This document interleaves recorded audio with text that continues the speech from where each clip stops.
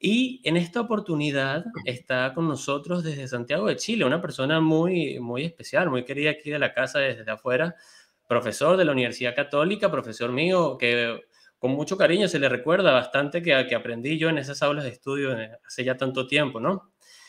Y para presentarlo, él nos pidió que lo presentáramos de una manera muy especial. Él es un venezolano, profesor, hijo de María Teresa de Márquez y Joao de Jesús, trabajador incansable desde su espacio, trata de crear una sociedad más justa, más humana y más reflexiva. Cree que la educación es el mejor activo de la vida y sobre todo lo que las sociedades se desarrollan cuando su calidad de vida, cuando su calidad educativa es la prioridad. Profe, bienvenido. Oye, agradecido enormemente tanto a ti, Jorge. Bonitos recuerdos, ¿ah? también tengo por las aulas de, de, la Universidad Católica y a Daniel por, por el contacto, por darme la, la oportunidad de contar mi historia. Ojo, resalto, es, es mi historia, eh, porque no todas las historias son iguales. Eh, todos los libros son distintos, así que cada uno tiene su libro. Eh, agradecido enormemente y, bueno, esperemos que todos los que nos escuchan disfruten de este conversatorio, más que la entrevista, va a ser un conversatorio eh, y podamos, podamos disfrutarla, disfrutarla con unas palomitas de maíz, unas cotufas o como se dice aquí en Chile, unas cabritas eh, y, con un vaso de lo que uno quiera, en realidad. No, profe, claro que sí, la verdad es que muy contento. Y, y, qué tantos bonitos recuerdos allá en la universidad. Y cuando leyendo estas, estas palabras que usted coloca, yo siempre lo recuerdo. Y, yo creo que usted refleja eso, calidad educativa, eso que, que, dejamos con Venezuela y que recordamos con tanto cariño. Pero nada, profe, para dar inicio a esta, esta charla, yo vamos del principio, con el principio de una. ¿Por qué llegaste a Chile y por, y por qué también decidiste emigrar? Mira, en primer lugar quería eh, solidarizarme con, todos los profesores que hoy en día en Venezuela eh, exigen em, reivindicaciones laborales que lamentablemente eh, por muchos años no han sido tomados en cuenta y que se ha quedado como en un discurso en donde queremos educación de calidad, queremos a los mejores profesores, sin embargo, eh, el discurso no ha pasado a hechos y tenemos sueldos desfasados, tenemos calidad educativa que quizás no es la mejor, eh, tenemos profesores desmotivados, tenemos estudiantes desmotivados por, justamente porque los profesores no se sienten motivados y si tienes un profesor desmotivado es imposible tener un estudiante motivado, o sea, esa es la realidad. Eh, entonces, solidarizarme con ellos eh, decirles que, mi historia va también eh, en apoyo hacia ellos y en apoyo a mejorar la calidad educativa que, en Venezuela hoy en día puede existir. Y eh, a los estudiantes mandarle un mensaje claro que, que a través de los estudios, a través de la educación, se pueden generar cambios, no solamente desde el punto de vista económico, eh, que en esta sociedad muchas veces lo, lo, que pensamos es en dinero, sino desde el punto de vista personal, humano, eh, para tener una mejor sociedad, un, mejor país, un, mejor mundo en realidad. Em, la verdad es que mi historia comienza muy, eh, entre comillas, muy breve. ¿ah? Nunca pensé en salir de Venezuela, esa es la verdad. Eh, me dolió mucho salir de Venezuela. De hecho, Jorge, debes recordar, eh, yo era el líder de un grupo de voluntarios en, la Universidad Católica, en la Escuela de Economía, y siempre mi mensaje era, estamos construyendo país y esta es la forma de construir país. Eh, íbamos en un jeep soñando con cambiar, con darle una esperanza a muchos estudiantes de La Vega, eh, de la parte alta de La Vega, y nuestra única herramienta, nuestra única arma eran los lápices, las gomas de borrar, los libros y nuestro conocimiento, eh, porque estábamos convencidos que la educación era y es eh, una escalera para, para ser mejores personas y para tener una mejor calidad de vida. Sin embargo, pasaron los años y, y la calidad de vida fue, esto no es un secreto, ¿ah? lo que yo estoy contando hoy en día no es un secreto, la calidad de vida fue eh, desmejorando. El profesor, sea universitario o, o, no universitario, en mi caso yo daba clases en la universidad, tanto en la Universidad Central de Venezuela como en la Universidad Católica Andrés Bello, eh, el profesor no es, económicamente no era bien remunerado. O sea, yo recuerdo, Daniel y Jorge y todos los que nos escuchan, yo daba clase el lunes en la mañana en la Universidad Central de Venezuela de 7 de la mañana a 10 de la mañana. Después me iba a la Universidad Católica y daba clase en la Universidad Católica desde las 11 aproximadamente hasta las 5 o 7 de la noche, porque daba también clase en, en, la Escuela de Administración y Contaduría, entonces eh, el horario era nocturno. Y luego tenía días en donde daba clases particulares. O sea, llegué, llegaba a mi casa 11 de la noche, gracias a Dios tenía mi madre que, que me apoyaba y, y, que siempre estaba ahí, que eh, que siempre está, bueno, la labor de madre, pues, que siempre está ahí apoyándome, igual que mi padre. Eh, y llegaba cansadísimo. Y lo peor de todo es que tú llegabas a fin de mes y no tenías ni para comprarte, ni para salir al cine. Entonces, eh, era, era una situación compleja y hasta que vinieron que tenías que salir del trabajo a hacer fila para ver qué llegaba al supermercado y qué podías comprar. Entonces la calidad de vida fue bajando y ahí empieza mi, búsqueda eh, a qué país irme, ¿no? Cabe resaltar que, tengo la, la, fortuna de que mis papás son portugueses y tengo la doble nacionalidad, por más, entonces más sentido cabe la pregunta que me acabas de hacer, Jorge. Eh, ¿por, qué Chile, por ejemplo, no Europa? Por ejemplo. Eh, lo cierto es que tenía unos amigos en Chile, tengo unos amigos en Chile, eh, y me dieron la posibilidad de recibirme. esa fue como la primera apertura. Luego empecé a investigar todo el proceso de legalización, de estar legal en un país el cual no es tuyo, o sea, no, no es tu país nativo, Em, y se me hizo bastante atractivo. Ejemplo, eh, yo llegué a Chile hace seis años aproximadamente. El proceso de obtener lo que llaman aquí el carnet de identidad, el RUT, era bastante rápido comparado con otros países. Está bien, comparado con otros países. Y si hay algo que yo he tenido siempre claro, y que todos tenemos derecho a cambiar de opinión, decía un gran escritor de este país como Humberto Maturana.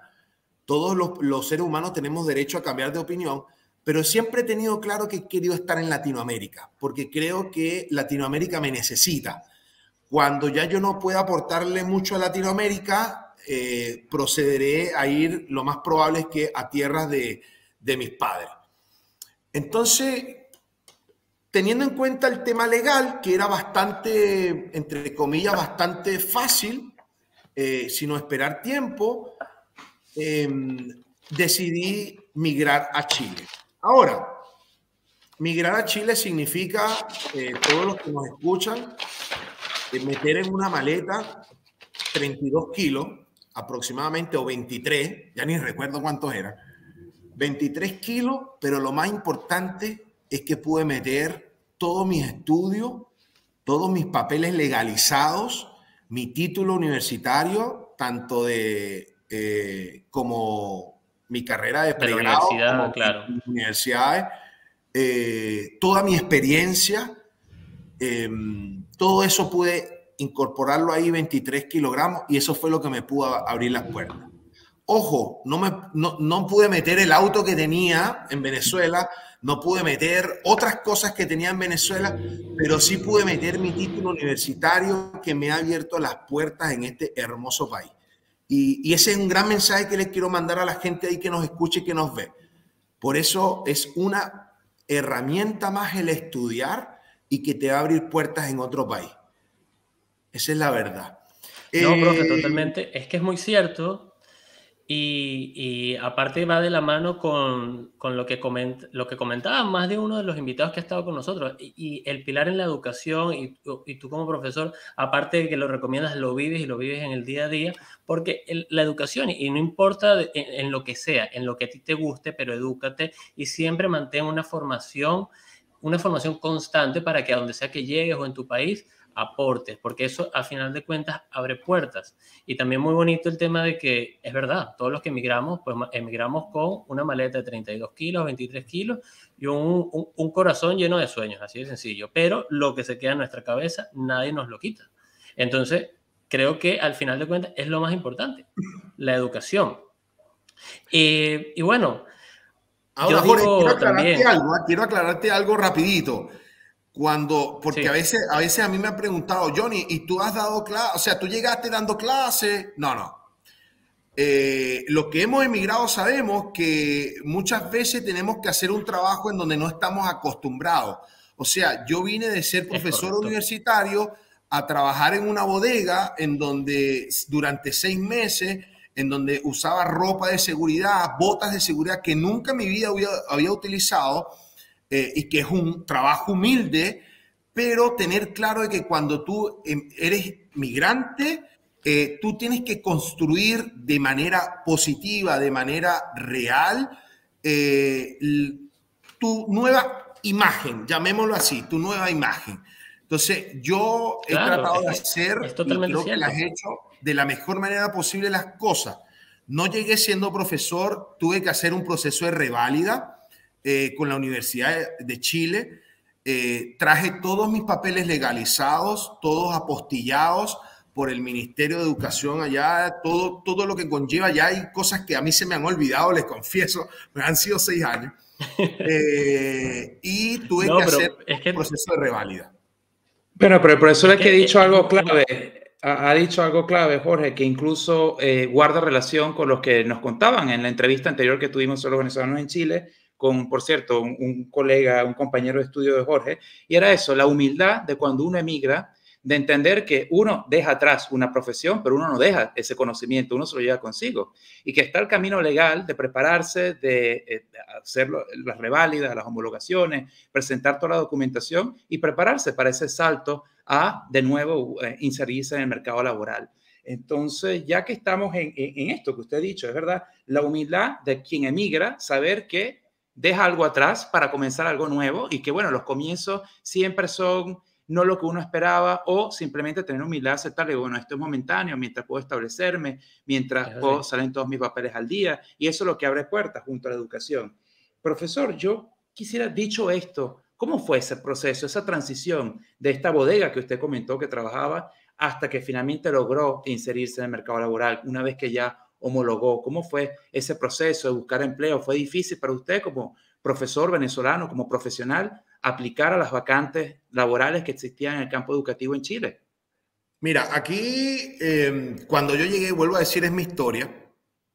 Eh, tuve que demostrar lo, lo, poco que sé, humildemente, lo poco que sé y mi formación. ¿Está bien? Yo, yo trabajé seis meses en una bodega agradezco la oportunidad, ganando salario mínimo, eh, trabajando eh, mañana, tarde y muchas veces noche. Eh, y luego de seis meses tuve la oportunidad de que me de legalizar mi situación migratoria. ¿Ok? Legalizar su situación migratoria significa que llegó el carnet de identidad.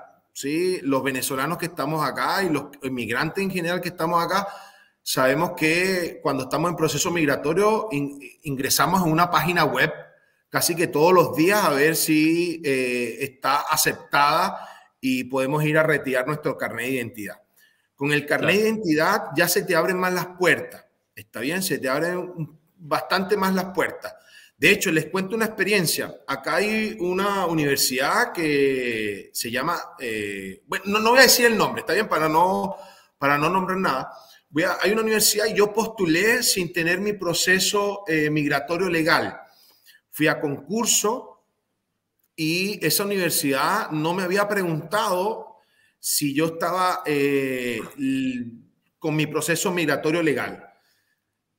Yo concursé, competí con otros colegas, gano el concurso y cuando me van a contratar, eh, me dicen el número de carnet de identidad. Y ahí es que yo les digo que no tengo carnet de identidad. Cuando le digo que no tengo carnet de identidad, muy amablemente eh, la universidad me dice no te puedo contratar legalmente, no te puedo tener eh, dando clase. Así que bueno, será para una próxima oportunidad y están las puertas abiertas, etcétera, etcétera. Eh, sin embargo, cuando llega mi carnet de identidad para, para centrarme en lo, que, en lo que preguntas, empiezo a postular por todos lados. O sea, liceos, eh, escuelas básicas, universidades, liceos técnicos. Eh, empiezo a postular por todos lados. Porque, bueno, los que me conocen, y ojalá dejen comentarios allí los que me conocen, eh, saben que soy apasionado de la educación, me gusta mucho dar clases. entonces, postulo, tengo como cuatro entrevistas, me llaman como cuatro entrevistas. De hecho, dato curioso, hay un director que es el cual yo trabajo hoy en día en ese liceo, eh, que me dice, ¿sabes qué? Lo que más me impactó de tu currículo fue tu canal de YouTube. O sea, yo puedo conseguir otro profesor de matemática, pero lo más probable es que es poco probable conseguir un profesor de matemática que tenga canal de YouTube. Eh, y ahí empezamos a conversar qué era YouTube, cómo era, pa, pa, pa todo. Empezamos a hablar del proceso educativo a, través del aula virtual. Y después, bueno, imagínense, después vino la pandemia, entonces hicimos más clic todavía y hoy en día tenemos una relación profesional muy positiva con ese director y con todo mi equipo de, trabajo. Eh, pero la verdad es que el canal de YouTube me abrió las puertas en esa institución educativa, eh, que es un liceo. No, profes, y es que si puedo añadir, y, perdón que te interrumpa, porque es que la historia eh, está muy interesante, pero es que hay veces que se nos olvida y, se dice fácil todo lo que has hecho, pero son seis años de trayectoria. Entonces, esto es lo que siempre recordamos, ¿no? Un poco de que cuando uno emigra, el emigrante dice, bueno, ya resolví mis problemas o pensamos que se nos van a acabar nuestros problemas y no es así, es simplemente cambiar unos problemas por otros. Y ahí el ejemplo que tú diste de tu experiencia personal. Entonces también, como de nuevo, el, trabajo dignifica y todo trabajo es bueno, pero si el trabajo en el que estás o al que llegas no te gusta, tienes que ponerle una fecha de vencimiento a ese trabajo y, para eso tienes que ponerte unos objetivos y ponerte también a trabajar y al mismo tiempo buscar el proceso de homologación, esperar los tiempos como, como bien dijiste, porque es lo mismo en Chile, en Argentina, en Perú, en Portugal, en España y hasta aquí en Hungría. Estás yo como em, eh, eh, emigrante tenía que esperar tres meses que me llegaran mis papeles para poder cambiar de un trabajo a otro. Hay veces que, se, que salió mal el nombre, el, mi nombre, entonces tuve que esperarme otras dos semanas a que me volvieran a imprimir. Entonces, hay veces que se nos olvida eh, o simplemente no teníamos esa realidad en nuestro país, porque no, no, no es. Pero cuando estamos en la casa del vecino, como estábamos hablando en la entrevista anterior, hay que atenernos a, a sus reglas venir, y venir con mucha humildad, como bien dice, y entender cómo es este país. Una vez ya tenemos todos nuestros papeles en regla, pues las puertas se abren, pero todo es un proceso. Un proceso. Entonces, eso es un, es, un proceso y profe, porque aparte comentas lo del canal de YouTube, que todo trabajo va sumando y todas las actividades que uno va haciendo van sumando. Yo quería hacerte esta pregunta también. ¿Necesita Chile de profesores. ¿Cómo, cómo viste eso, tu momento, la llegada en los liceos, buscando trabajo? Hay muchas vacantes. ¿Cómo es el tema? Bien, mira, hoy en día, antes de contestarte esa pregunta, quiero aclarar algo. ¿ah? Cuando tú llegas a Chile, tú tienes como eh, las leyes migratorias, eh, tú puedes ejercer la carrera docente. Ojo, no sé cómo son las otras carreras, yo cuento mi realidad. La carrera docente tú puedes ejercer cinco años sin hacer la homologación.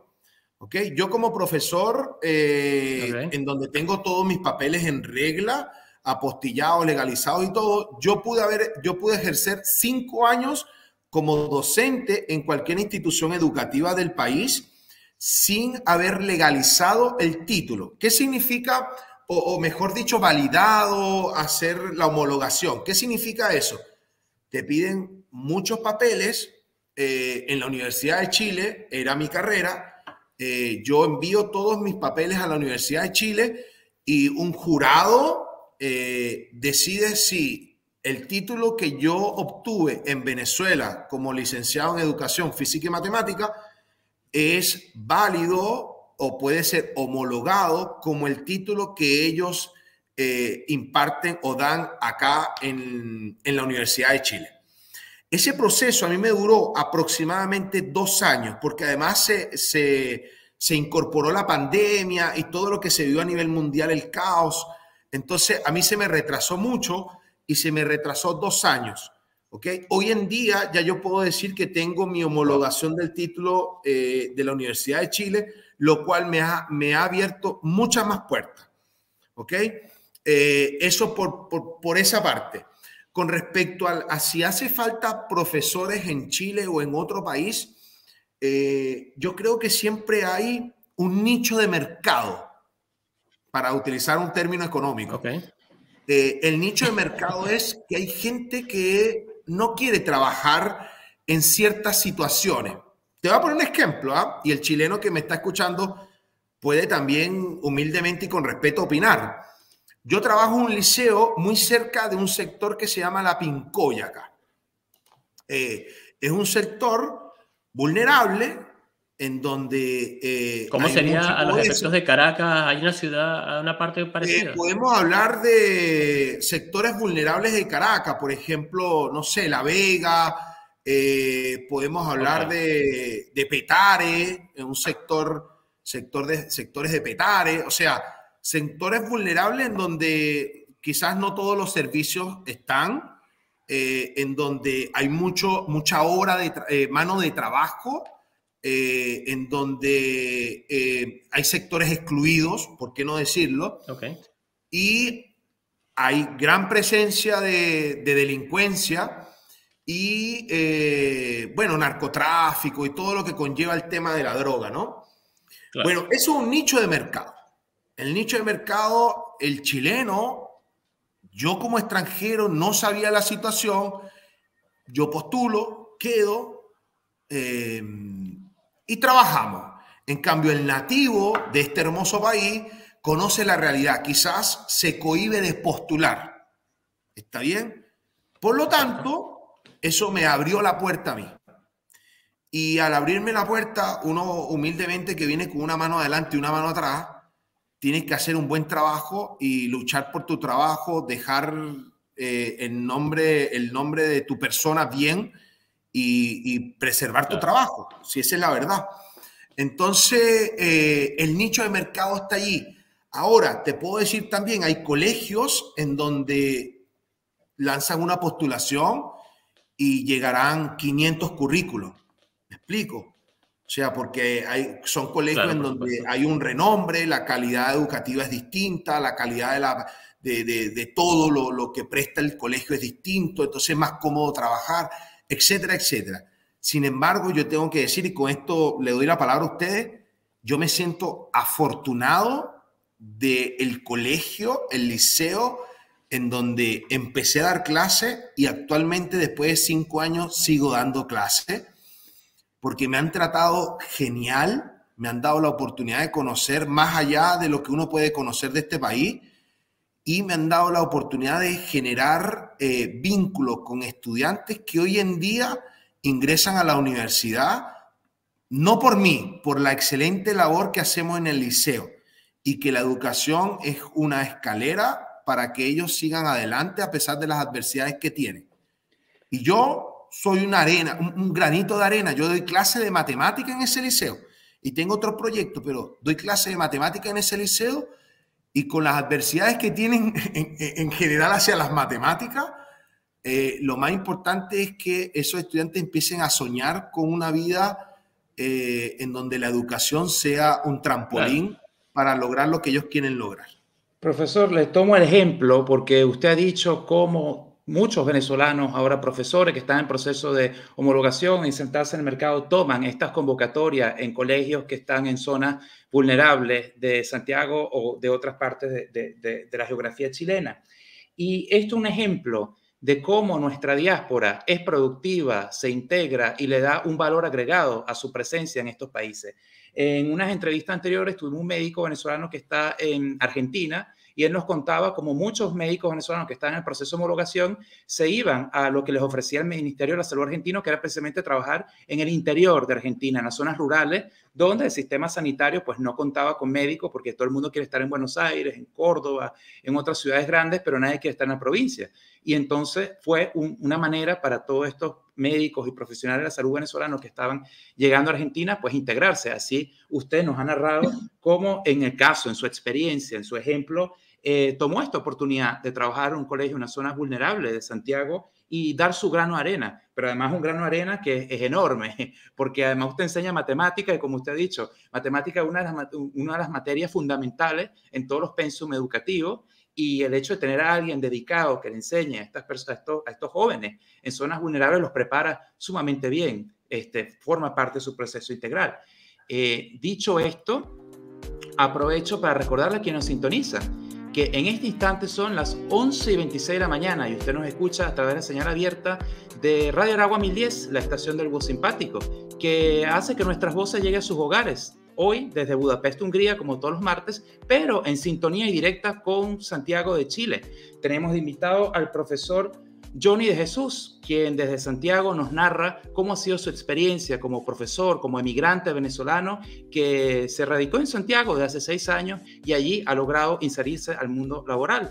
Una cosa que yo destaco a este momento es esa colaboración que tienen los profesores venezolanos que buscando ejercer su profesión e incluso comienzan a trabajar en estos colegios, en estos liceos, en zonas vulnerables de las urbes chilenas, promoviendo y así eh, no solamente la educación, sino contribuyendo enormemente al desarrollo integral de Chile.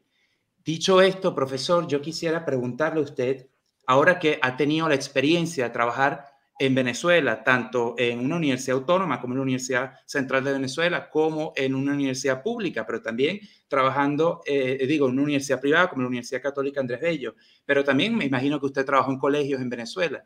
Ahora que usted está en Chile, este, ¿pudiera explicarnos cómo es ese sistema educativo chileno? ¿Cómo funciona? Es muy diferente a nuestro sistema educativo venezolano. El pensum, ¿cómo es, más integral, es más completo en Chile?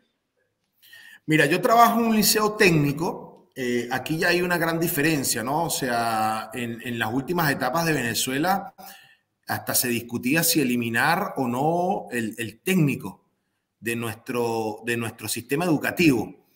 Eh, de hecho, muchos técnicos desaparecieron. Liceos técnicos eh, empezaron a desaparecer en, nuestra capital y en nuestro país. Y se discutía si era, si era eh, necesario o no tener personas que, que, sean graduadas en técnico. En este país no está en discusión eso. en este país se, se tiene conciencia y están clarísimos de que el técnico es necesario para desarrollar la sociedad desde el punto de vista económico hasta el punto de vista social. Em, entonces ahí hay una gran diferencia. En mi, en mi, experiencia, eh, yo doy clase primero medio, segundo medio, tercero medio, cuarto medio. Si hago la analogía con, Venezuela, eh, sería eh, octavo, segundo de bachillerato, tercero bachillerato, cuarto medio y quinto medio. Son eso, eh, esa analogía. Pero mis estudiantes salen con un técnico. En el colegio donde yo doy clase, imagínate tú lo que yo te voy a decir a eh, Daniel y Jorge.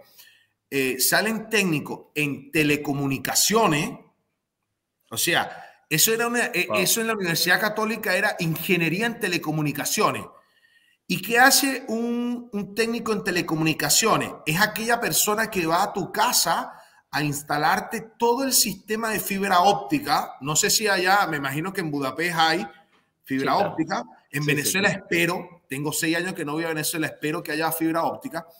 Eh, entonces el técnico es ese, pero el que te instala un router, que te instala la, antena de, de, alguna empresa privada que ofrece eh, señal televisiva por, por, pago, eh, te instala todo el sistema de, de, telecomunicaciones, por ejemplo, todo lo que tiene que ver con cámaras de seguridad de una empresa y todo lo demás. Eso te lo hace el técnico del colegio que yo, que yo imparto clase.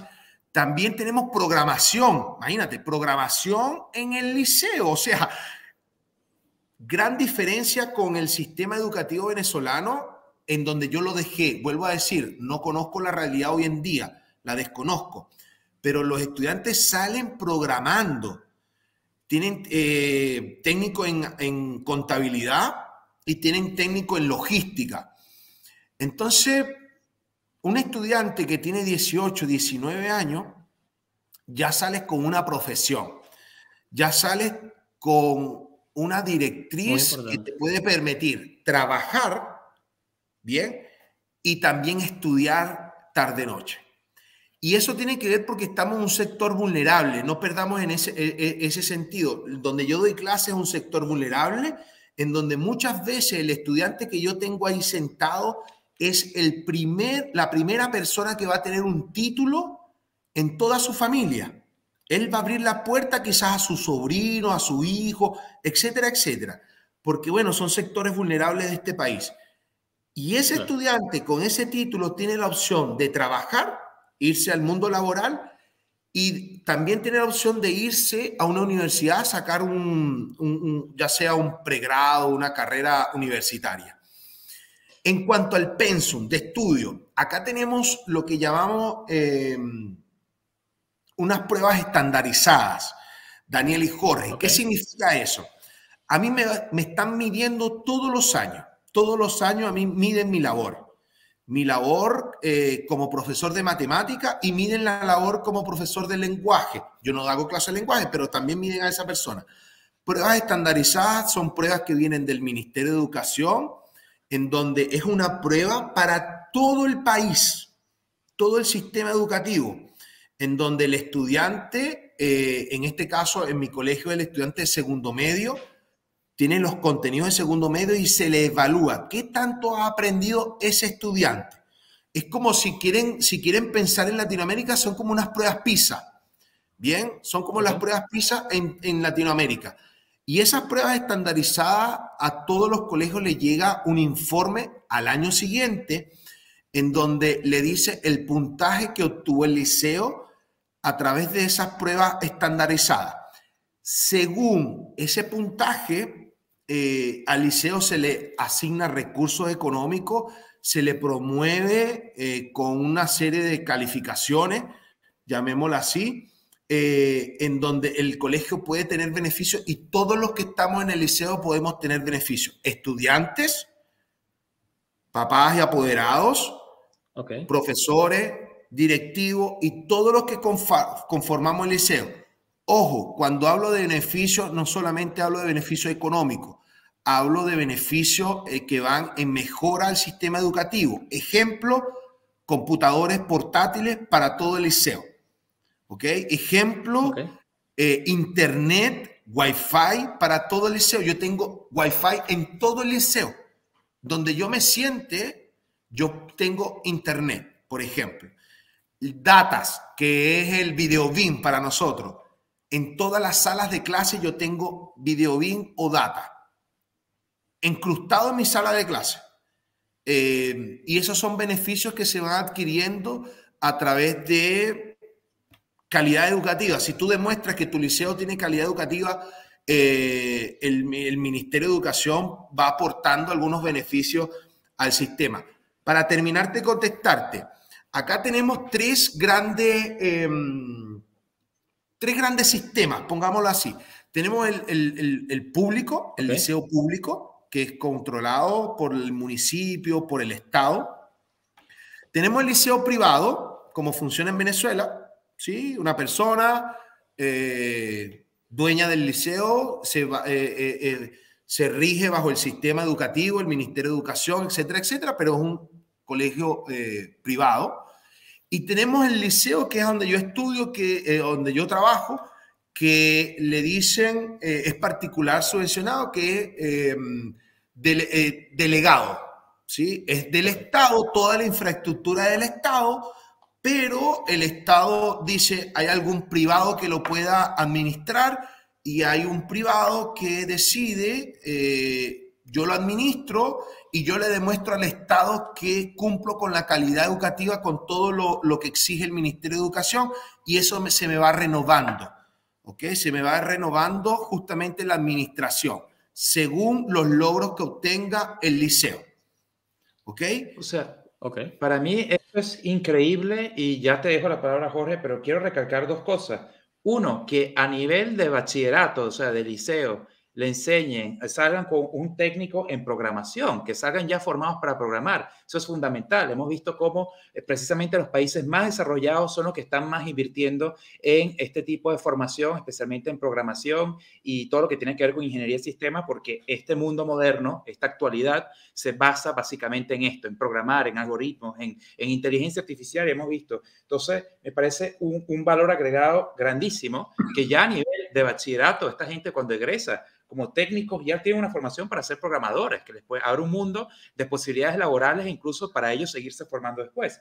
Y segundo, esta sana competencia, diría yo, que existe entre los colegios que dependen del Ministerio de, Educación, en los cuales, por medio de estas pruebas nacionales para medir la calidad de, de la educación impartida en los jóvenes, pues básicamente estos colegios compiten entre ellos para obtener mayores recursos. Y esto me parece una estrategia sumamente acertada o incluso hasta vanguardista por parte de, del Ahora, Daniel, quiero, quiero recalcar algo porque seguro van a haber comentarios. No estoy diciendo que el sistema educativo chileno es el mejor del mundo. Ah, no, Nada que ver, no estoy diciendo eso. Está bien, porque estoy seguro que va. ¿Y por qué el profesor no dice, por ejemplo, tenemos una carrera docente, todos los docentes debemos inscribirnos en una carrera docente en donde se nos exige demasiado, muchísimo, y no se nos da una formación, por ejemplo. ¿Está bien? Entonces, hay muchas cosas que mejorar, muchísimas. Estoy seguro que en toda Latinoamérica hay muchas cosas que mejorar, pero también mi vivencia es que eh, ha sido una grata experiencia y eh, he, podido palpar un sistema educativo en donde está eh, más próximo a mejorar que retrasar en la calidad educativa. Eso. No, profe, e, eso, eso que usted dice también es muy cierto. Y, y, y, lo que dice, eh, es verdad, todo, tiene, todo puede mejorar, todo puede ser mejor, evidentemente, pero cuando nos cuenta su historia del sistema educativo, me acuerdo mucho a, a, a, nuestro colega Helder Bonillo, cuando lo entrevistamos acá en el programa, que él tiene su experiencia en, en su trabajo en, en, la empresa de trenes del Estado chileno, y muestra cómo un Estado a diferencia del venezolano que, bueno, se preocupa o invierte o destina los recursos a tener un sistema de transporte de calidad para sus ciudadanos, al igual que hace el Estado chileno en este caso con la educación porque entiende que es un pilar importante, la, eh, eh, comunicación, los transportes en, en, aquel caso y aquí la educación para formar a los jóvenes. Este, eso por un lado. Por el otro lado, lo que yo quería agregar era interesante porque todo lo que dice me recuerda lo que estuvimos hablando en otros programas y que eh, repetimos mucho, que es el bono demográfico. ¿Por qué? Porque eh, se dice, muchos estudios dicen que Venezuela perdió ese bono demográfico por la masiva eh, migración de mm. venezolanos. Ya somos 6.5 millones, ajá. Pero si Venezuela lo perdió, la pregunta es quién lo gana. Mm. Y yo no puedo más que, y, y queridos oyentes, que decir, mira, Chile es un ejemplo aquí con, mi profesor Johnny, lo digo mi profesor con todo el cariño, en este caso, porque además creo que todo pasa por algo. Y fíjate, porque mi profe fue el, el, el, que nos guiaba, el líder de aquella experiencia tan bonita que fue el voluntariado en esas zonas vulnerables de Caracas, las zonas, digamos, menos favorecidas, y ahora es la misma situación, pero en otro contexto. Entonces, en este contexto migratorio, como profe dice, su experiencia, fíjate, un bono demográfico que Chile está ganando. Este, y diciendo esto, y hablando un poco también de la diáspora, de la migración venezolana. Jorge, quiero acotarte algo allí, ¿ah? Quiero acotarte algo mientras, vas con la otra pregunta. El liceo donde yo doy clase, el 40% son inmigrantes. 40%, ojo, 40%, y no solamente venezolanos, dominicanos, peruanos, bolivianos, eh, colombianos, argentinos, 40% son venezolanos, 60% son chilenos. Además, más que seguro habrá algún, alguna persona que diga, no, es que mi país lo están invadiendo, no sé qué, no sé cuánto. porque bueno, hay de todo en el mundo. Más que eso, resaltemos lo siguiente, el tema cultural que está generando ese liceo en cada uno de los estudiantes que pasan por allí. O sea, no hay capital del mundo, y se lo digo yo a los estudiantes, no hay capital grande del mundo que no tenga una ola masiva de inmigrantes. Piensen en cualquier ciudad grande del mundo. Totalmente cierto. O sea, vete a la ciudad que quieras, Madrid, si, no es capital, pero vete a Barcelona, vete a, París, vete, no es capital, pero vete a Nueva York, Washington. No hay gran capital del mundo ni ciudad grande que no tenga migración. Y eso enriquece a las ciudades, enriquece a la sociedad. Eso es un punto muy válido y es totalmente cierto. Yo recuerdo que yo leí un libro hace ya varios años de Andrés Oppenheimer que él comentaba eso de la riqueza de las ciudades. Como usted dice, Silicon Valley es hoy por hoy, conocemos, ¿no? La ciudad famosa California, donde están estas grandes tecnológicas. ¿Por qué? Porque hay una riqueza cultural muy grande. Ahí tú ves un africano, como ves un indio, como ves un chino, un vietnamita, de todos lados. Entonces, y a lo que vamos, también mi pregunta va por ahí. Has tenido, bueno, ya creo que has respondido a la mitad de la pregunta. ¿Cómo ha sido esa experiencia con la llegada de cientos de miles de, niños de, muchas partes del mundo, pero principalmente de Venezuela? Eh, ¿Cómo ha sido? ¿Cómo ves alguna deficiencia o, la inserción a, la educación es masiva? ¿Cómo ha sido? Mira, actualmente, ahorita, ahorita yo estoy en una universidad, estoy dando clase en las noches en la universidad y de hecho ahora estoy sentado en un salón de la universidad porque me tocó dar clase hoy en la mañana eh, acá y pedí un espacio justamente para la entrevista. Eh, entonces, y si te cuento la experiencia, mira, en el liceo tengo 40% de estudiantes eh, migrantes, tengo dos colegas venezolanas. Y aquí en la universidad, o sea, es que puedes conseguir eh, personas que estudian de diferentes países del mundo.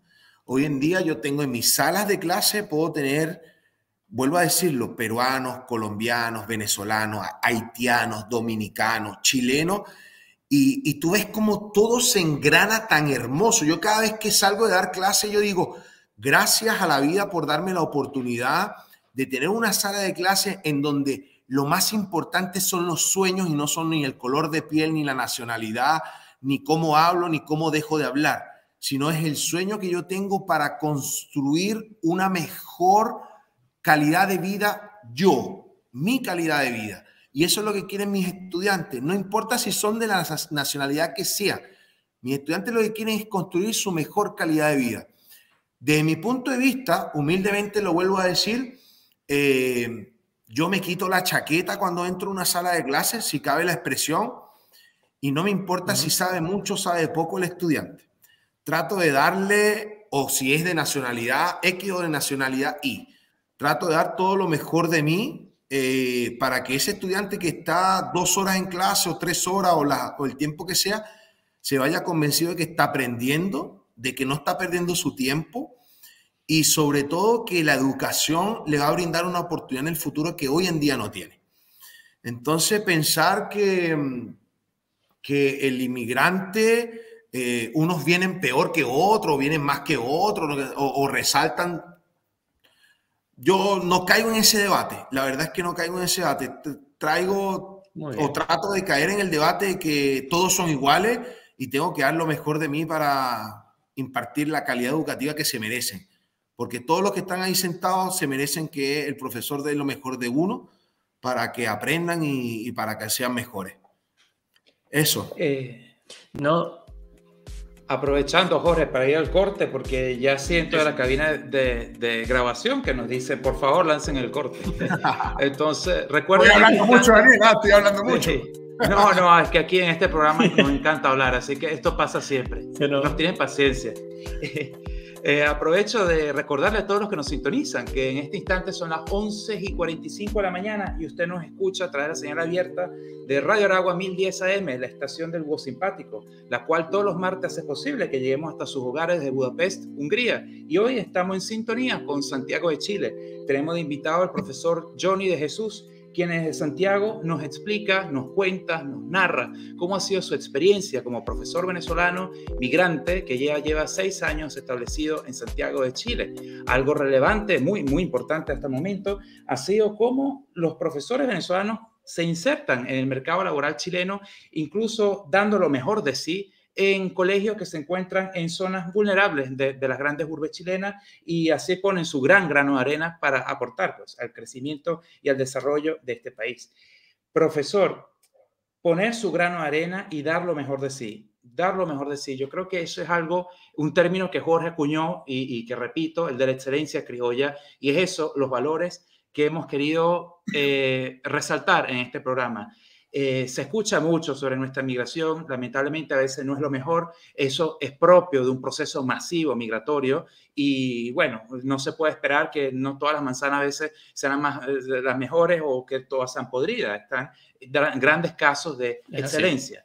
Y es eso que nosotros queremos darle visibilidad a esos casos de excelencia de quienes trabajan con pasión en cualquier parte del mundo en la cual se encuentre. Y hoy lo tenemos a usted que nos comparte cómo con tanta pasión, incluso cuando estaba en Venezuela, se dedicaba de lleno a, la educación y lo sigue haciendo hoy desde, desde Santiago. Este, es una vocación, es algo que, que no se pierde.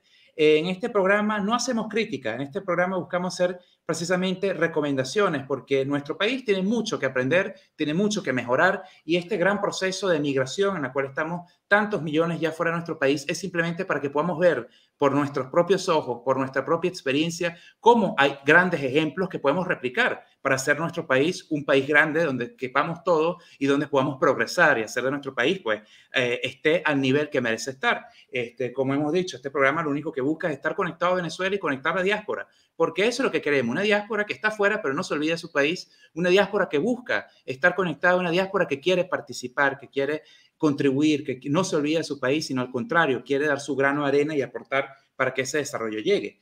Y todo este gran preámbulo para preguntarle, ¿qué puede aprender Venezuela de ese sistema educativo? Es cierto, Latinoamérica sigue siendo una región compleja. No podemos decir que eh, existe un sistema educativo perfecto o que existe un sistema económico perfecto en nuestra región ni en ninguna parte del mundo, pero dentro de los aspectos positivos del sistema educativo chileno, ¿qué cree usted que Venezuela pudiéramos replicar para entonces mejorar pues, en nuestro porvenir como sociedad? Oye, Daniel, mira, primero decirte que yo sueño con volver a Venezuela. ¿ah? Aquí me voy a poner un poquito melancólico. Eh, sueño con regresar em, a las salas de clase de Venezuela, poder entrar, eh, poder aportar lo, lo humildemente que sé eh, poder llevar un poco de esperanza a mis estudiantes y, y sobre todo poder contaminar, si cabe esa, esta palabra, eh, de mi vibra a todos los estudiantes. Y también creo que esta experiencia me ha llenado también para apreciar algunas cosas, ¿no? A veces cuando uno está en el país de uno, quizá no valora muchas cosas. Eh, y hoy en día puedo decir muchas cosas que valoro de Venezuela, de su sistema educativo, el cual me formó a mí. Nosotros somos hijos de ese sistema educativo, eh, en donde nos dieron una excelente calidad educativa, por lo menos a mí, a Johnny de Jesús. Gracias a eso soy quien soy. Gracias a un liceo que eh, estudié en una casita allí en San Bernardino, Nuestra Señora de Fátima, nunca se me va a olvidar, una casita en San Bernardino que no teníamos ni cancha. Eh, y después a la Universidad Católica Andrés Bello, que me dio eh, la vocación y, todo lo que soy. Yo resaltaría tres pilares del sistema educativo chileno, la verdad. Uno, em, en primer lugar, cómo le dan valor a la educación técnica. No voy a entrar en la parte económica y todo el sistema, está bien el sistema económico, porque alguien por ahí puede decir, bueno, es que le van a dar valor técnico porque es un sistema capitalista y todo lo demás. No voy a entrar en ese, en ese, en ese debate. ¿Está bien? No, pero forma un ciudadano hábil en, su, en, lo que sea, en, el oficio que tenga. Eso te da una oportunidad de vida. O sea, el que no tiene para pagar un estudio universitario o el que no puede ingresar a una, a una universidad porque por X o por Y razón, tiene una herramienta para ganarse su vida. Listo. O sea, si tú saliste técnico como carpintero, tú te puedes dedicar a la carpintería. ¿Está bien? El problema está que cuando saliste de bachillerato, del liceo, no eres técnico, no puedes ingresar a la universidad porque no, no puedes, no tienes los recursos, no, no puedes ingresar y te dedicas a hacer otra cosa que quizás no está bien. ¿Ok? Porque no tienes otra herramienta para eso. Entonces, el valor a la educación técnica que yo he vivido en este colegio es fundamental. Se da un valor a la educación técnica y eso creo que Venezuela tiene que aprender. Ojalá nos escuchen, ¿sí? los entes gubernamentales y empiecen a, darle el valor a la educación técnica en Venezuela. En segundo lugar, em, yo he sentido, yo he sentido el gran respeto que hay hacia un profesor en esta sociedad. Yo digo que soy profesor y siento un respeto. Sinceramente, ha sido mi experiencia, lo vuelvo a decir. Está bien, yo le he dicho a entes, la policía aquí, eh, yo le he dicho, ¿en qué trabaja usted? Yo soy profesor, eh, profesor de qué? De matemática, y claramente eh, yo he notado el respeto que esa, que esa persona tiene hacia mí. ¿Ok? En segundo, en tercer lugar, y creo que Venezuela tiene que aprender a eso, cuidar a sus maestros, cuidar a sus profesores. O sea, que hoy en día un profesor gane tres dólares, eso es mediocre, sabiendo la situación económica del país. Que hoy en día un profesor que haya estudiado doctorado, que haya, se haya preparado, gane 200, 300 dólares, es una mediocridad. No quiere decir que yo soy millonario. nada que ver. Nada que ver, pero es una mediocridad. No cuidamos a nuestros profesores. Yo tenía profesores, colegas que dejaban de dar clases y se dedicaban a taxi justamente porque el dinero no les daba, porque la sociedad no cuida a los profesores, nos quedamos en un discurso. Yo siento que hoy en día acá en este país se cuida a los profesores. Hay mucho que mejorar, muchísimo, pero siento que hay un cuidado hacia el docente. Y en tercer lugar, eh, hay sistema educativo para todo el mundo. O sea, si tú quieres estudiar, tienes cómo hacerlo. La verdad es impresionante. Por ejemplo, un liceo no le puede negar la matrícula a ningún estudiante. Y si no tiene cupo, el liceo tiene que buscarle cupo. En otra institución, darle opciones a la persona en donde puede estudiar. Y eso en Venezuela, o sea, yo no tuve la experiencia, por lo menos quizás estoy hablando desde el punto de vista del desconocimiento, pero acá si yo, Johnny de Jesús, va a un liceo, quiero estudiar acá, no, resulta ser que tenemos matrícula llena, tenemos matrícula, puede ir a tal liceo a buscar. Y en mi colegio, por ejemplo, hacen la conexión, llaman y dicen, no, si hay apertura, puede ir a matricular allá al estudiante o a la estudiante. Eh, eso también creo que es vital. Estamos claros que el sistema educativo es fundamental en cualquier sociedad y esta sociedad lo tiene clarísimo. Lo tiene tan claro de que niño que no esté estudiando, incluso hasta el trabajador social, va a la casa y le pregunta al papá, a la mamá, al apoderado, lo que dice aquí, ¿por qué ese niño no está estudiando? ¿Por qué ese niño dejó de asistir a clase? O sea, tienes visita en la casa de la persona, ¿por qué dejó de asistir a clase? Profesor, eh, los tres elementos yo creo que son fundamentales. Este, ahora, visto que estamos sobre la hora para el cierre del espacio radial, simplemente recordarle a quienes nos escuchan que pueden seguir sintonizando el video por, a través de YouTube y si nos escucha por la radio, sintonicen en este instante por YouTube, donde vamos a continuar con una segunda parte de esta entrevista. Entonces, por ahora vamos a proceder con el cierre. Jorge, vamos a, con los créditos y ya saben, ¿no? Nos, sintonicen en YouTube para que puedan seguir viendo la segunda parte de la entrevista. Claro que sí. Pero bueno, como siempre, ya se nos acabó esta hora y muchas gracias a todos los oyentes de Radio de Aragua 1010, la estación del búho simpático, transmitiendo para ustedes desde Budapest, Hungría, y en esta oportunidad tan especial desde Santiago de Chile. Este programa llega a ustedes bajo la dirección ejecutiva de Néstor Labrador, en la vicepresidencia ejecutiva, Hansen Labrador, en los controles técnicos, Ali Jorfila y Johnny Briseño, en la planta transmisora, Luis López, y en la locución, quien les, quien les habla, Jorge Michael. y Daniel Limorato. Así que ya sabes, no, no se desconecten, síguenos viendo por YouTube. Bueno, y arrancamos con la segunda parte del programa. Así que gracias por sintonizarnos por YouTube. Y ahora vamos a estar en directo con el profesor Johnny Jesús, que nos va a hacer un recorrido por, por el campo universitario donde trabaja. Sí, porque para los que no saben, y yo tengo que decir algo aquí, ¿no? Porque lo que hablábamos, la integración de nuestros países, este bono demográfico que unos países pierden y otros ganan, pero para los que nos escucharon por la radio y los que la están viendo ahora desde YouTube, el profe hoy, sábado, el momento de la grabación, tanta es la pasión por la educación que hoy un sábado estaba trabajando, ayudando a los estudiantes. Entonces, profe, sin nada más, el campo es suyo. Mira, la verdad es que para mí es un honor. ¿ah?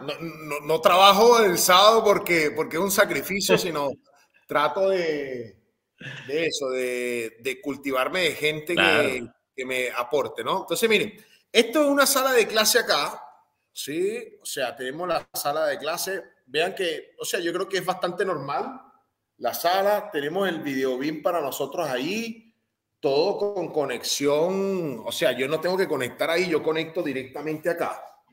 Toda la conexión está acá. Este es mi, mi, mi, panel de control, aquí está, del data, el video bien. O sea, hay control en la computadora. ¿ah?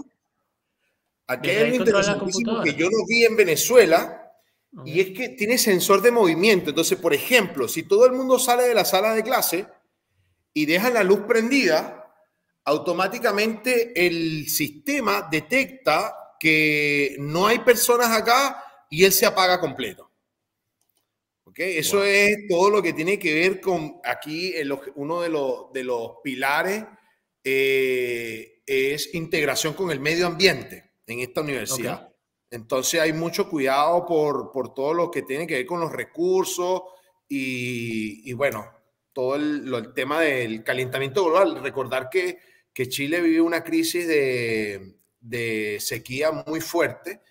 Eh, tiene muchas causas, no voy a entrar en eso, pero, pero hay una situación compleja en el tema del cambio climático que está afectando a Chile. Eh, salgo de la sala de clase, vean que es un pasillo, bien, está lleno de salas de clase. Eh, ah, pero muy bonito, muy moderno. ¿eh? Sí, todas con, no, no, hay esa típica pared, sino es eh, vidrio, ¿ok? Vidrios ahí, vean que visible. Por ejemplo, tanto los estudiantes como los profesores, vean, yo no he entrado a esa sala de clase y aquí está el vidrio. Entonces todo el mundo ve tu clase.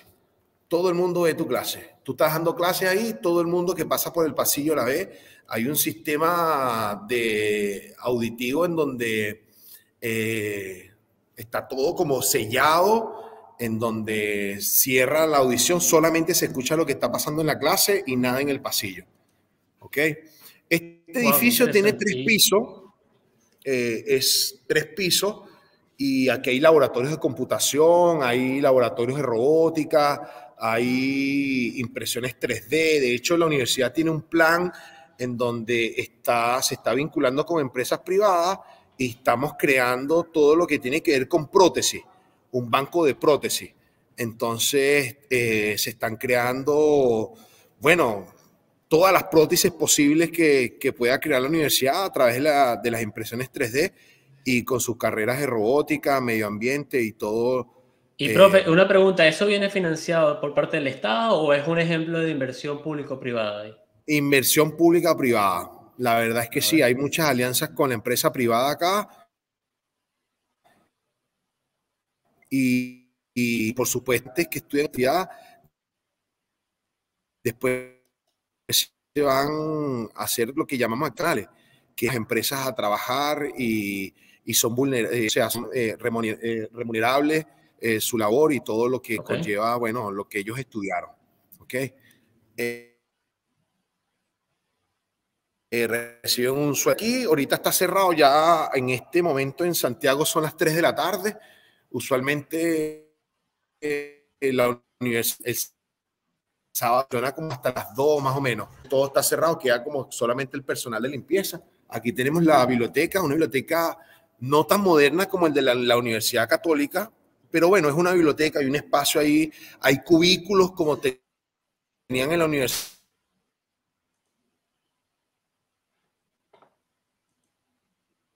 Universidad Católica, que son cubículos privados para que los... Bueno, ustedes me dicen si estamos bien con el internet o no, ¿sí? Eh, hay parte que lo perdemos por segundo, pero ahí viene, ahí viene. Ya, eso. Eh, si se dan cuenta, bueno, aquí tenemos todo el área verde. Me voy a quedar aquí para no, para no alterar la conexión. Y no se ven, pero les estaba contando al inicio eh, de la entrevista que mm, en esta universidad está la mecánica, ingeniería mecánica, y tienen alianzas con empresas privadas, como que fue algo que me sorprendió mucho a mí cuando pasé por esas especies de talleres, en donde hay autos de todas las empresas y todas las marcas automotrices. Y son espacios que han construido la empresa privada justamente para formar a estos estudiantes, eh, bueno, que se, que se van a graduar de ingenieros mecánicos y que al final o van a emprender en la mecánica o se van a ir a la empresa privada a trabajar. Entonces hay dotación de autos, autos reales, en donde los, autos, los estudiantes los desarman, crean piezas nuevas, todo lo que tiene que ver con la ingeniería, los, los modifican. Hay, o sea, hay exhibiciones de autos. Eh, en algún momento del año exhibiciones de autos modificados por, por los estudiantes de acá. Entonces, está pensada la educación para, para la parte práctica. O sea, ¿para qué me sirve a mí lo que yo estoy aprendiendo en la sala de clase? Acá está pensado que es lo que llaman la vinculación con el medio. Eh, no, y profe, también que que nada, que e, eso que usted comenta y aparte la diferencia entre la educación chilena y la, y la, y la venezolana. Sabe que también aquí hemos hablado mucho y nos comentaban que esto que nos pasó a los venezolanos es como un, plan mariscal de Ayacucho, pero a la inversa. ¿Cómo es eso? Bueno, nada, nos tocó, eh, un, perdón, un mariscal de Ayacucho obligado. Entonces nos tocó emigrar para aprender. Y es muy bonito porque, si bien mucha gente, porque la realidad es que muchos venezolanos lo más seguro es que querrán quedarse en su país que los acogió y donde ya hicieron una vida. Pero muchos otros, y como, como tú comentaste hace unos minutos atrás, esperamos regresar. Queremos regresar para aportar a nuestro país y ya con eso que, que tú estás viendo, que estás viviendo, que estás trabajando en ese espacio, que puede mejorar la sociedad que dice Daniel, la sociedad venezolana del futuro. Y también va un poco de la mano con el, eso que, que hay en Chile, que, que estamos viendo, pues que el valor que se le da a la educación en, en, ese país, que también va de la mano con lo que estuvimos hace un tiempo con el decano de, de la Universidad Central de Venezuela, de la Facultad de Fase, el doctor Ángel Muñoz. Muy importante porque decía cómo ha sido la educación en Venezuela estos últimos cinco años, la labor docente, que han tenido que reinventarse y que es una labor de que, tiene mucho de pasión por parte de, quien la ejerce. Entonces, esos profesores, mira, yo me quito el sombrero porque nos han formado, nos, nos formaron, nos hicieron lo que tú dijiste también, lo que nos hicieron, lo que somos hoy en día, en nuestro, en nuestro espacio, en, nuestro, en, donde sea que, estemos. ¿Quién iba a pensar uh, hace 20 años que aquel profesor que nos dio clase en segundo grado tiene a uno de sus estudiantes hoy en mm. Chile dando también clase o un médico en, en, en España, por ejemplo? Claro, no, y yo, yo siempre he definido, y, para los que nos están escuchando y viendo, siempre he definido que la, migración venezolana es como cuando tú rompes una relación amorosa estando enamorado. Eh, entonces es complicado, es complicado. O sea, cuando, cuando uno se fue de su país, no fue porque quiso irse, sino fue una decisión dura de tomar y, bueno, uno sigue enamorado de esa persona, en este caso del país, y sueña con volver eh, a estar con, esa con ese país que, que uno creció, que uno vivió, que uno se enamoró. Es como vivir en un guayabo eterno. Así mismo, mejor no podía ser descrito. y lo comparten con muchos otros.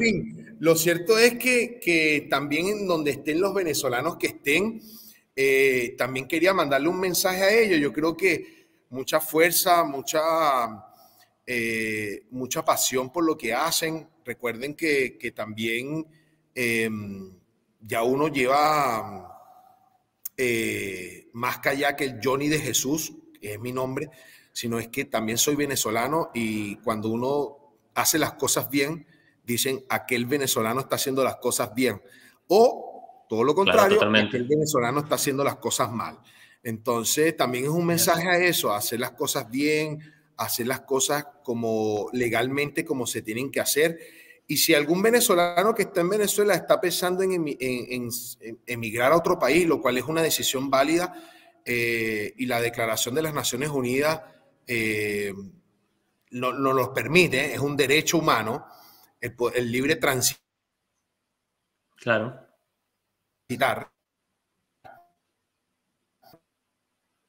Responsabilidad posible en la conexión. Ahora sí, todo el término legal adecuado eh, es mi mensaje, es mi recomendación bueno, si tienen que tomarse su tiempo, un año, año y medio, en legalizar sus documentos, porque sabemos el proceso como es en Venezuela, eh, tómenselo porque estar em, legal en un país te abre mucho las puertas y te da oportunidades de vida que es la que tú estás buscando. ¿Okay? Yo conozco mucha gente que lamentablemente no se vino en su, con su proceso legal em, regular y se ha llevado una mala experiencia de este país y de otros países, eh, pero porque no hizo las cosas bien y quiso hacer las cosas eh, como mejor le parecía. Mi llamado es seguir el proceso legal, el proceso migratorio, eh, todo tiene un proceso y justamente llevarlo a cabo de la mejor manera nos lleva a tener una calidad de vida y cumplir nuestros sueños, porque al final todos tenemos sueños eh, las personas que nos están escuchando ahí tienen sueños. Nosotros tres tenemos sueños. Y para conseguir esos sueños, yo considero humildemente que debemos hacer las cosas lo mejor posible y trabajando yo creo que lo podemos lograr. No, totalmente de acuerdo. Y nada, profe, agradecerle por el tiempo, por habernos mostrado hasta en las aulas de clase cómo es un contexto distinto, ¿no? En Chile también. Y esas palabras que son muy importantes porque lo que le repetimos a todos nuestros connacionales, a todos nuestros compatriotas que nos escuchan, es eso. Y hay, uno quiere emigrar, está en su derecho, pero hay que hacerlo bien, porque uno deja siempre, uno está migrando con su bandera que, que, que lo representa a uno, haga las cosas bien o haga las cosas mal. Entonces uno es un embajador, hagamos las cosas bien. Eh, sin, nada más que No, yo sí agrego, retomando y, haciendo compendio de todo lo que ustedes han dicho, efectivamente la legalidad y la buena disposición abren puertas. Así que la gente que tiene que dejar el país por, bueno, todos los motivos y decisiones personales que pueden pasar, este, la legalidad es la que abre puertas y la buena disposición. Entender que una migra va a la casa del vecino, uno tiene que adquirir la costumbre, tiene que contribuir a esa casa del vecino, como cuando uno lo invitaban y uno cuando estaba de, invitado, pues fregaba los platos, acomodaba, ayudaba, hacía algo, lo mismo, el mismo concepto aplicado al hecho de emigrar. Uno va es aportar, a trabajar y haciéndolo por la vía legal. A veces, no todos a veces pueden emigrar de la vía legal, pero eso no implica que no busquen hacerse legal, porque eso es lo importante. Eso es un, drama, e, existe el drama migratorio, no vamos a caer en detalles porque lo que se ve, se sabe, pero no, eso no implica que la gente no busque la legalidad y eso no implica que la gente no busque hacer las cosas bien y eso es lo más importante. Yo creo que eh, ha sido una experiencia eh, como, para que no saben, Budapest también no es una ciudad grande, pero aquí usted puede ver todas partes, gente de todas partes del mundo, es muchísimo latinoamericano. Aquí hay una comunidad argentina muy grande, hay una comunidad chilena muy grande, hay una comunidad venezolana y colombiana también muy grande, pero aquí estamos todos por el camino de la legalidad, del trabajo, de hacer las cosas con buena disposición y eso permite enriquecer tanto este país que nos ha abierto las puertas como nosotros por esta misma interacción entre latinoamericanos como con gente de todas partes del mundo. Y lo importante es eso, el respeto, la integración y entender que uno viene a aportar y uno viene a dar lo mejor de sí, lo mejor de sí y la excelencia que hoy ha por Jorge. No, totalmente de acuerdo, Daniel. Y además que, bueno, hablando de integración, yo creo que eh, está más que claro para todos los que nos oyen. Si queremos hablar de integración, un ejemplo, aquí está el profe que el acento chileno lo tiene. es un buen ejemplo de, integración, Jay. Entonces, nada, yo creo que con esto, eh, profe, agradecido con el tiempo. Con, Oye, nada más le voy a quitar unos minutitos más. ¿ah? No, no, por Adelante. Oye, mandar, mandar un mensaje de fuerza otra vez a mis colegas venezolanos, profesores mucho ánimo, mucho ánimo y mucho ánimo. Eh, también mandar un saludo, yo creo que hay gente que, que, a uno le va marcando el, corazón em, y son a todos mis estudiantes que de una u otra forma eh, han contribuido a la persona que soy hoy en día. Eh, algunos, algunos de manera positiva, otros de manera no tan positiva, pero han contribuido. Y en especial, no porque está Jorge, sino porque yo creo que, vivimos etapas eh, muy importantes en la vida de cada quien, que es a mi grupo de voluntariados, al cual confiaron en mí, me dieron una mano y muchas veces me dieron lo más importante que es su tiempo para, para construir, bueno, de una u otra manera, eh, lo que somos hoy en día y, también una mejor Venezuela en aquel entonces. Así que gracias a todos los voluntariados de la Escuela de Economía de la Universidad Católica que me apoyaron en aquel entonces, em, a todos mis estudiantes, a Chile que me abrió las puertas y, a esta sociedad que me, que me ha dado muchas experiencias, también le agradezco a este país y quiero invitar, o sea, porque creo que también debemos dejar una huellita, eh, quiero invitar a que ojalá visiten la cordillera de los Andes, la cordillera chilena. Es hermosa. Yo me enamoré de la cordillera eh, cuando la conocí y hoy en día es como mi pasatiempo empezar a, a, bueno, a descubrir montaña tras montaña, nieve tras nieve. Eh, y, creo que invitarlos a todos, ojalá vengan a conocer la cordillera, a sentir la energía que hay en estos pueblos, em, en estos pueblos em, mapuche y toda la cultura indígena que hay detrás de este país eh, es fenomenal, de verdad es fenomenal. Así que invitarlos a que vengan como turistas, como, bueno, a pasar de vacaciones acá eh, mi, mi, casa está disponible para ustedes dos y para gente que conozco, no tengo ningún problema. Eh, pero lo bueno es, bueno, entre todos contribuir a una mejor persona, a un mejor mundo, a una mejor sociedad. Y ojalá, para cerrar, nos veamos pronto en Venezuela construyendo el país que queremos y con el país que soñamos y con el país que queremos que nuestros hijos crezcan. Claro que sí, profesor. Así es. Profesor, antes de cerrar su canal de YouTube para que nos vea y quiera saber y ver su, su, trabajo hecho y publicado en YouTube, ¿cuál es su canal? Gracias. Ah, matemática abierta, matemática abierta. De hecho, hay una historia detrás de matemática abierta que agradezco a unos estudiantes de la Universidad Católica, que fue idea de ellos. Ah, el, el, canal de YouTube fue idea de ellos. Me, la me, me, hacen la propuesta y, y yo, bueno, siempre escuchando a mis estudiantes, le doy play. Vamos a darle creamos el canal de YouTube, ayudamos a mucha gente en la Universidad Católica y recuerdo que en ese momento había como una crisis energética en el país, se iba la luz, eh, bueno, las escuelas no funcionaban porque tenía que ahorrar luz y todo lo demás y decidimos crear ese canal de YouTube en donde dábamos clases virtuales. Eh, sobre todo, bueno, para los días que tenían luz podía la gente aprovechar. Eh, y bueno, el canal de YouTube ha estado bueno, por mi proceso migratorio estuve como cuatro años sin subir ningún video. Eh, después me motivé, eh, empecé a subir videos y hoy en día ya somos más de 9 mil suscriptores, eh, con más de mil reproducciones diarias. O sea, ahí está, pueden verlo, matemática abierta, está enfocado más que todo a la, a la universidad, matemática universitaria. Eh, y ojalá sea un aporte más que el que yo hago a la sociedad. O sea, eso es lo único que busco, no busco ni crédito ni, nada por el estilo, sino aportar, aportar y aportar.